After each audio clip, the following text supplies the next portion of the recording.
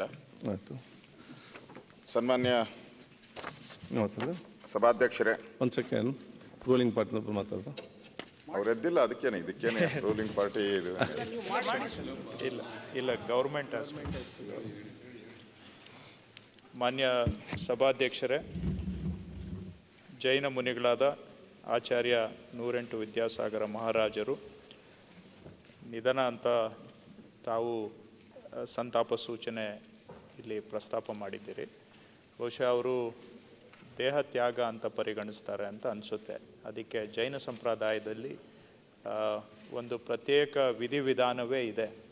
ಸುಮಾರು ವರ್ಷಗಳ ಮೊದಲೇ ಅವರು ದೇಹ ತ್ಯಾಗ ಮಾಡಲಿಕ್ಕೆ ತೀರ್ಮಾನ ಮಾಡಿ ಅದಾದ ನಂತರ ಕಾಲಕ್ರಮೇಣವಾಗಿ ಒಂದು ಗುರಿಯನ್ನು ಇಟ್ಕೊಂಡು, ಅವರು ಈಹಲೋಕವನ್ನು ತ್ಯಜಿಸಿ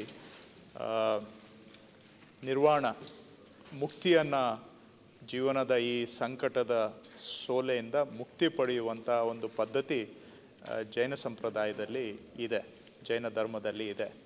ಅದರ ಅಡಿಯಲ್ಲಿ ಅವರು ತ್ಯಾಗವನ್ನು ಮಾಡಿ ಇಹಲೋಕವನ್ನು ತ್ಯಜಿಸಿದ್ದಾರೆ. ಅವರು ಜೈನ ಸಂಪ್ರದಾಯನೇ ಒಂದು ರೀತಿ ನಮ್ಮೆಲ್ಲರನ್ನೂ ಕೂಡ ಜಾಗೃತಿ ಮೂಡಿಸ್ತಕ್ಕಂತಹ ಸಂಪ್ರದಾಯ. ಜೀವನದ ನಾವು ಉದ್ದೇಶ ಏನು? ಜೀವನದಲ್ಲಿ ಯಾವ ರೀತಿ ನಡೆದುಕೊಳ್ಳಬೇಕು?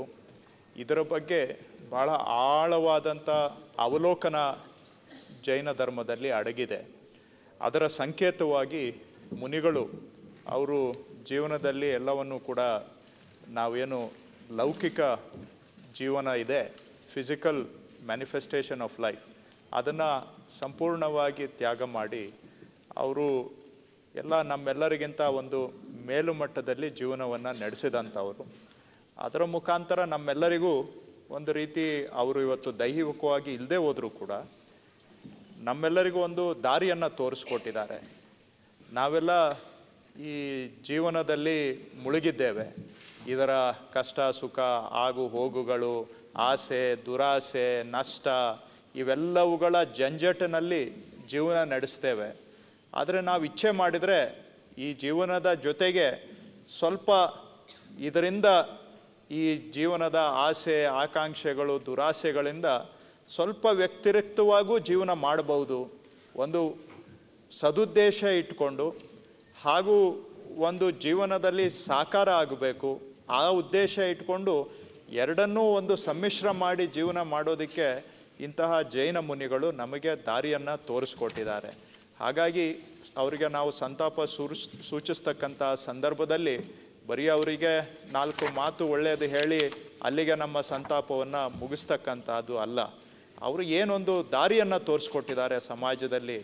ಒಂದು ಜೀವನದಲ್ಲಿ ನೆಮ್ಮದಿ ಇರಬೇಕಾದ್ರೆ ಸ್ವಲ್ಪ ಅವಲೋಕನ ಶಕ್ತಿಯನ್ನು ನಾವು ಮೈಗೂಡಿಸ್ಕೋಬೇಕು. ದೈನಿಕ ಜೀವನ ಈ ಜೀವನವನ್ನು ನಾವು ಈ ಪ್ರಪಂಚದ ಆಸೆಗಳಿಂದ, ದುರಾಸೆಗಳಿಂದ ಸಂಪೂರ್ಣವಾಗಿ ವ್ಯತಿರಿಕ್ತರಾಗಿ ಜೀವನ ಮಾಡಲಿಕ್ಕೆ ಆಗೋದಿಲ್ಲ. ಆದರೆ ಅದರ ಜೊತೆಗೆ ನಮ್ಮ ಮಾನವರ ಉದ್ದೇಶ ಏನು ಅನ್ನೋದನ್ನು ಅರ್ಥ ಮಾಡಿಕೊಂಡು ಸ್ವಲ್ಪ ಮಟ್ಟಿಗಾದರೂ ಇದರ ನಡುವೆ ಸರಿಯಾದಂತಹ ಮೌಲ್ಯಗಳ ಆಧಾರಿತವಾದಂಥ ಜೀವನವನ್ನು ಬೆರಿಕೆ ಮಾಡಿಕೊಂಡು ಸಮ್ಮಿಶ್ರವಾದಂಥ ಅದನ್ನು ಮಾಡಿದರೆ ನಾವೆಲ್ಲ ಪ್ರಯತ್ನ ಮಾಡಿದರೆ ಆ ರೀತಿಯಾಗಿ ಆವಾಗ ನಿಜವಾದಂಥ ಇಂಥ ಮುನಿಗಳಿಗೆ ನಾವು ಗೌರವವನ್ನು ಸಲ್ಲಿಸಿದಾಗೆ ಆಗತ್ತೆ. ಅವರು ತ್ಯಾಗ ಮಾಡಿದರೂ ಕೂಡ ಇವತ್ತು ಬಹುಶಃ ಅವರ ಆಲೋಚನೆಗಳು ನಮ್ಮ ಜೊತೆಗೆ ಇದ್ದಾವೆ. ಅವರು ನಡೆದು ಬಂದಂಥ ಹಾದಿ ನಮ್ಮ ಜೊತೆಗೆ ಸದಾಕಾಲ ಇರುತ್ತೆ.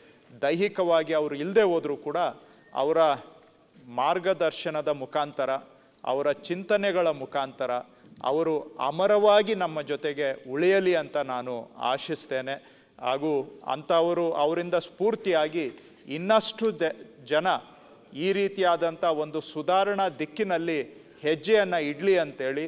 ಅದರಿಂದ ನಮ್ಮ ಸಮಾಜದಲ್ಲಿ ಮೌಲ್ಯಗಳ ಪುನರ್ವರ್ಧನೆ ಆಗಲಿ ಅಂತ ನಾನು ಸರ್ಕಾರದ ಪರವಾಗಿ ಆಶಿಸ್ತೇನೆ.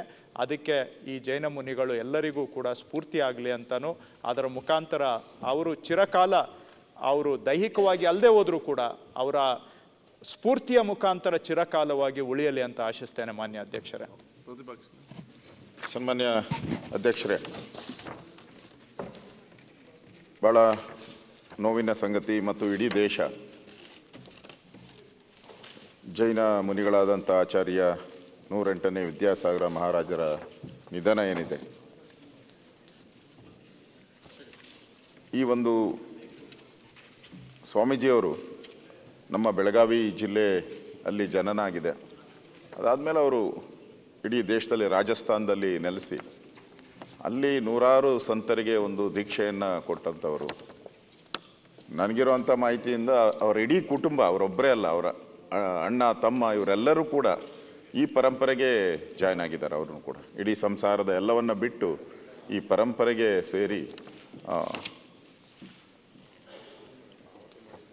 ಒಂದು ಆದರ್ಶ ಮಾರ್ಗವನ್ನು ತೋರಿಸಿದ್ದಾರೆ. ನಮ್ಮ ಭಾರತೀಯ ಪರಂಪರೆ ಅಂದರೆ ಈ ಋಷಿಮುನಿಗಳ ಪರಂಪರೆ ಏನು ಭಾಳ ಅನಾದಿ ಕಾಲದಿಂದನೂ ಕೂಡ ಒಂದು ಪರಂಪರೆ ನಮ್ಮ ದೇಶದಲ್ಲಿ ಈ ಋಷಿಮುನಿಗಳು ವಾಸಸ್ಥಾನ ಅಂತ ಹೇಳ್ಬೋದು. ಇದು ಬೇರೆ ಯಾವುದೇ ದೇಶಕ್ಕೆ ಇಲ್ಲದಂಥ ಒಂದು ಸೌಭಾಗ್ಯ ನಮ್ಗೆ ಸಿಕ್ಕಿದೆ. ಇವತ್ತು ಕೂಡ ಹಲವಾರು ಮಠ ಮಂದಿರಗಳು ನಮ್ಮಲ್ಲಿ ಒಳ್ಳೆ ಕೆಲಸ ಮಾಡಿರೋದನ್ನು ನೋಡ್ತೀರಿ. ಮೊನ್ನೆನೂ ಕೂಡ ನಮ್ಮ ಪ್ರಧಾನಮಂತ್ರಿಗಳು ನಾವು ಸಭೆಗೆ ಹೋದಾಗ ಸುಮಾರು ಹತ್ತು ನಿಮಿಷಗಳ ಕಾಲ ಈ ಸ್ವಾಮೀಜಿಯವರ ಬಗ್ಗೆ ಮಾತಾಡಿದ್ದಾರೆ. ಇಡೀ ದೇಶ ಸಂತಾಪ ಮಾಡಿದ್ದಾರೆ.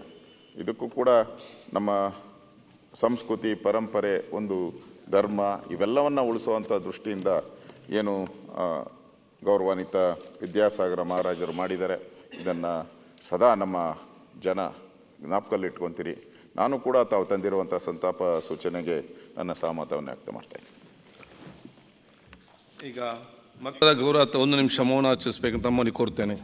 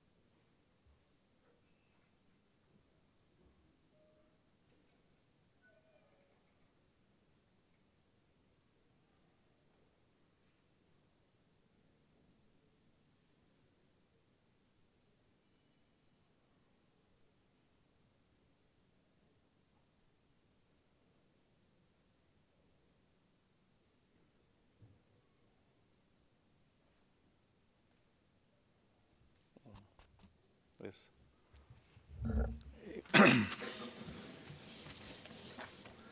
ಈಗ ನ್ಯೂಸ್ ಫಸ್ಟ್ ನಿರ್ಭೀತಿಯಿಂದ ನಿಮ್ಮ ಪರವಾಗಿ